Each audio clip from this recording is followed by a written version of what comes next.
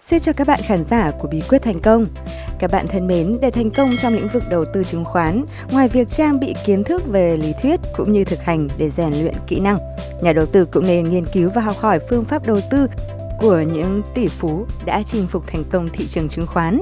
Trong số các nhà đầu tư vĩ đại đó, không thể không kể đến tỷ phú Warren Buffett, cha đẻ của nhiều cuốn sách huyền thoại về đầu tư. Ông được xem là một thiên tài trong lĩnh vực chứng khoán, tấm gương truyền cảm hứng cho hàng vạn nhà đầu tư trên thế giới với những thương vụ triệu đô của mình. Cùng tìm hiểu cách đầu tư của Warren Buffett cũng như những kinh nghiệm quý báu về đầu tư của ông qua bài viết ngay sau đây. Chúng tôi tin rằng bạn sẽ học được nhiều bài học quý giá từ nhà đầu tư huyền thoại này. Hãy cùng bí quyết thành công tìm hiểu nhé!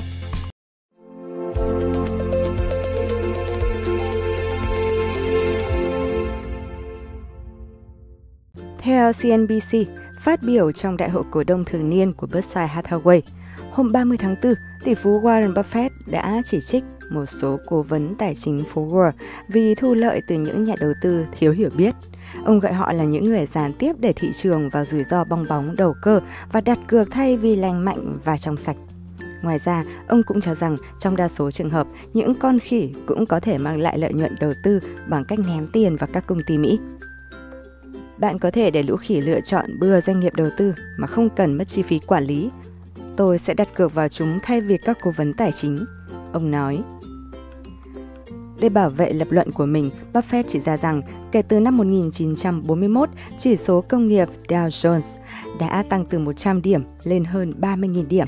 Điều này đồng nghĩa với việc các nhà đầu tư chỉ cần đặt tiền vào các doanh nghiệp Mỹ, tin tưởng vào xu hướng tăng chung của thị trường và để món đầu tư này tự tăng trưởng. Thật ngạc nhiên khi mọi người khiến mọi thứ đơn giản như đầu tư trở nên khó khăn như vậy. Warren Buffett nói, tuy nhiên, nếu có chuyên gia tài chính nào nói bạn rằng đầu tư thật sự đơn giản như một trò chơi, thì 90% thu nhập của những người này sẽ biến mất. Warren Buffett từ lâu đã khuyên các nhà đầu tư hãy bỏ tiền vào các quỹ chỉ số chi phí thấp, có thể tự động đa dạng hóa, chẳng hạn như rổ chỉ số S&P 500 Ông cho biết những quỹ như thế này sẽ thực sự ý nghĩa, nhất là đối với những người muốn dành dụng khoản tiền tiết kiệm khi về già. Hãy kiên trì mua quỹ chỉ số chi phí thấp của S&P 500. Tiếp tục mua chúng trong dài hạn, đặc biệt là trong giai đoạn thị trường khó khăn. Các công ty lớn như Apple, Coca-Cola hay Amazon theo đó là ví dụ điển hình. Được biết trong số 46 cổ phiếu thuộc danh mục đầu tư của Berkshire hiện tại, Coca-Cola là cổ phiếu được nắm giữ lâu nhất, lên tới 33 năm. Đây cũng là mã chiếm tỷ trọng lớn thứ tư trong danh mục của công ty, với giá trị lên tới 22,7 tỷ USD tính đến năm 2021. Nếu nghĩ thông ngay từ ngày đó, thì năm 1936, tôi đã thuyết phục ông nội bán cửa hàng tạp hóa và đầu tư toàn bộ tiền vào cổ phiếu Coca-Cola. Buffett chia sẻ trong một bức thư gửi cổ đông Berkshire. Ngoài ra, tập đoàn Berkshire Hathaway cũng bắt đầu mua cổ phiếu Apple vào năm 2016 và đến giữa 2018 thì nắm cổ phần 5% của gã khổng lồ công nghệ này. Ước tính Berkshire đã chi ra 36 tỷ USD để trở thành cổ đông lớn nhất của Apple. Tính đến đầu năm 2022, con số này đã tăng lên 160 tỷ USD. Điều này đồng nghĩa với việc nhà tiên tri xứ Omaha đã lãi hơn 120 tỷ USD trong vòng hơn 3 năm. Không nghi ngờ gì nữa, đây là một trong những vụ đầu tư thành công nhất của Berkshire trong vòng một thập kỷ trở lại đây. Nhà phân tích James Sanahan thuộc Edward Jones nhận định trong sự nghiệp đầu tư của mình, Buffett được biết đến là một người không thích những cổ phiếu công nghệ có mức tăng trưởng quá lớn. Tuy nhiên, trong khoảng một thập kỷ trở lại đây, huyền thoại đầu tư này lại tỏ ra hào hứng hơn với các cổ phiếu Big Tech. Có lẽ Apple là công ty tốt nhất trên thế giới mà tôi được biết. Tôi không coi Apple là một cổ phiếu nữa, mà là bộ phận kinh doanh lớn của chúng tôi. Buffett nói trong một cuộc trả lời phỏng vấn CNBC vào tháng 2 năm 2020. Các bạn thân mến, cố gắng tiết kiệm nhiều hơn, trả hết nợ nần và kiếm tiền nhiều nhất có thể. Những lời này giống như miêu tả về cuộc sống của một người bình thường không có nhiều tiền bạc, nhưng đó lại chính là phương châm sống của người nắm trong tay hàng chục tỷ USD và luôn được ngưỡng mộ về cách kiếm tiền. Tỷ phú Warren Buffett Buffett được mệnh danh là nhà tiên tri xứ Omaha. là CEO của tập đoàn Berkshire Hathaway, nhưng ở con người này có rất nhiều điểm đặc biệt. Dù có tài sản dòng lên tới gần 74 tỷ USD và luôn nằm trong top 5 người giàu nhất thế giới, ông vẫn sống một cuộc đời hết sức căn cơ, giản dị và dành phần lớn số tiền kiếm được đi làm từ thiện. Ông không bao giờ tự nhận mình là một người tiết kiệm mà chỉ tự nhận mình là người có thị hiếu đơn giản. Mới đây, ông nói với tờ People Magazine rằng tôi vẫn mua tất cả những thứ mà bản thân mong muốn. 10 căn nhà có làm tôi hạnh phúc hơn không? Đến một lúc nào đó quyền sở hữu sẽ sở hữu chính bạn. Đối với tôi, một bữa ăn có giá 100 USD cũng chẳng thỏa mãn bằng một chiếc bánh kẹp McDonald's. Dưới đây là 5 điều đặc biệt nhất trong lối sống hết sức giản dị của Warren Buffett. Điều thứ nhất, Warren Buffett vẫn sống trong căn nhà mà ông mua từ năm 1958. Các tỷ phú thường sống trong những căn biệt thự sang trọng. Nhưng đó không phải là trường hợp của Warren Buffett. Cho đến nay, ông vẫn sống trong căn nhà đã mua từ năm 1958 với giá 31.500 USD. Quy đổi theo thời giá hiện nay là gần 270.000 USD. Ông không có ý định bán ngôi nhà này và từng nói rằng tôi sẽ không đánh đổi nó lấy bất cứ thứ gì. Tính theo tỷ giá hiện hành, Buffett đã trả 41 USD cho mỗi phút vuông của ngôi nhà rộng 6.570 phút vuông.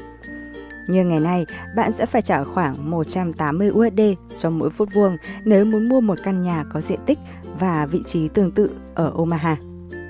Nếu bạn muốn sống như Buffett, hãy mua số nhà ít hơn khả năng chi trả của bản thân thay vì phải trả tiền cho những khoản vay thế chấp đắt đỏ. Bạn có thể đem số tiền đó đi gửi tiết kiệm để dành dưỡng già hoặc đi nghỉ. Và nếu phải vay tiền, hãy xem xét khoản vay kỳ hạn 30 năm. Buffett gọi đó là công cụ tài chính tốt nhất trên thế giới. Năm 1971, ông vay một khoản thế chấp kỳ hạn 30 năm để mua một căn nhà nghỉ dưỡng ở California. Điều thứ hai, khởi đầu ngày mới với một bữa sáng rẻ tiền. Có thể bạn nghĩ rằng bữa sáng của mọi tỷ phú thường gồm những thứ thật sự xa xỉ được chuẩn bị bởi những đầu bếp riêng. Nhưng lại một lần nữa, phán đoán này là sai khi áp dụng vào trường hợp của Warren Buffett. Buffett là người rất chuộng đồ ăn nhanh. Trên thực tế, ông thường ghé qua cửa hàng McDonald's trên đường lái xe đi làm mỗi sáng. Nếu cảm thấy giàu có, ông sẽ bỏ ra 3,17 USD để mua bữa sáng với thịt nướng, trứng và bánh kẹp phô mai. Còn nếu ngày hôm trước thị trường giảm điểm, ông sẽ chỉ mua bữa sáng giá 2,95 USD. Nếu đó là một ngày thực sự tồi tệ, số tiền giảm xuống chỉ còn 2,61 USD với hai miếng thịt viên xúc xích và một lon cookie. Bill Gates, tỷ phú giàu nhất thế giới và cũng là người bạn thân thiết của Buffett từng viết Điều đáng ngạc nhiên về Buffett là về cơ bản thì ông ấy ăn uống giống như khi 6 tuổi.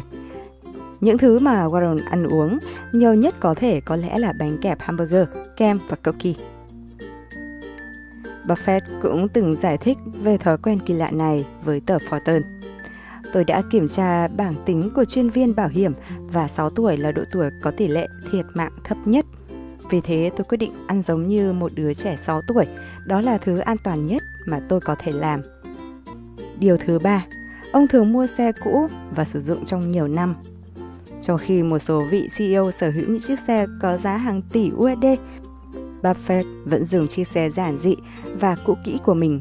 Trong bộ phim tài liệu do BBC thực hiện, con gái của Buffett nói ông thường mua những chiếc xe giảm giá do có một vài lỗi, sau đó đem sửa chúng và sử dụng lâu dài. Đó chính là phong cách sống của ông. Cha tôi thường trung thành với những chiếc xe cho đến khi tôi nói với ông rằng đã đến lúc mua xe mới rồi. Năm 2014, Buffett cũng chia sẻ với Forbes về thói quen này. Thật sự thì tôi chỉ lái xe khoảng 3.500 dặm mỗi năm, bởi vậy tôi không phải mua xe mới thường xuyên. Hãy nhớ điều này khi bạn đi mua xe, vì xe hơi khấu hao rất nhanh sẽ tốt hơn cho tình hình tài chính của bạn nếu như có thể kéo dài thời gian sử dụng xe hoặc ít nhất là chọn mua xe đã qua sử dụng thay vì mua mới. Điều thứ năm, Buffett có những sở thích rất giản dị. Sống như Buffett không có nghĩa là bạn chỉ chăm chăm làm việc mà không vui chơi. Ông vẫn có những sở thích cá nhân nhưng chúng rất giản dị nếu so với thú vui của những CEO, nhà đầu tư và doanh nhân nổi tiếng khác. Ví dụ ông rất thích chơi bài bridge.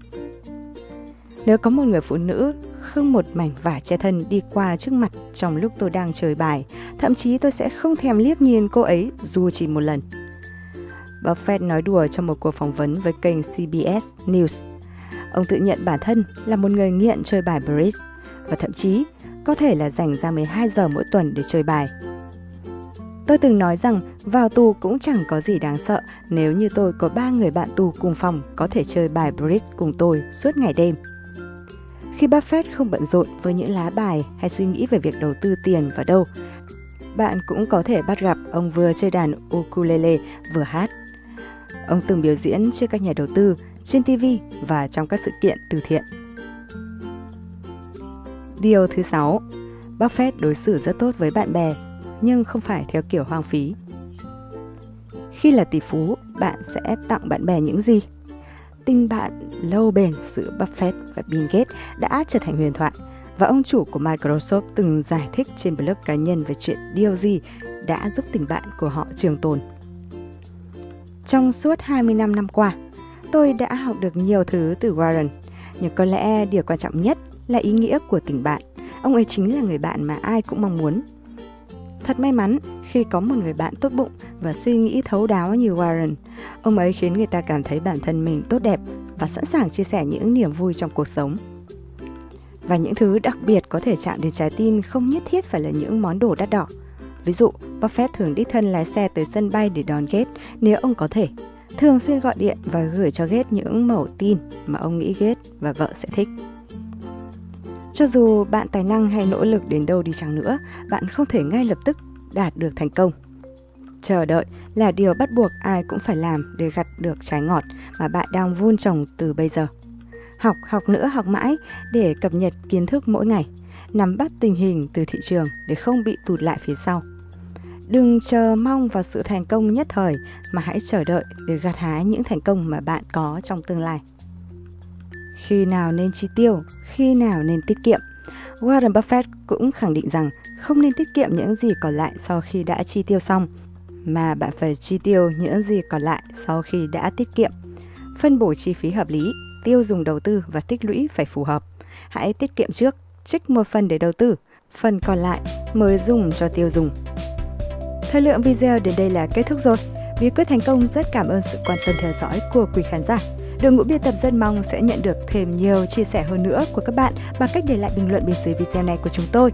Đừng quên bớt chút thời gian để nhấn đăng ký kênh cũng như like video này của Bí quyết thành công nhé. Còn bây giờ, xin chào và hẹn gặp lại các bạn trong những video tiếp theo trên kênh Bí quyết thành công.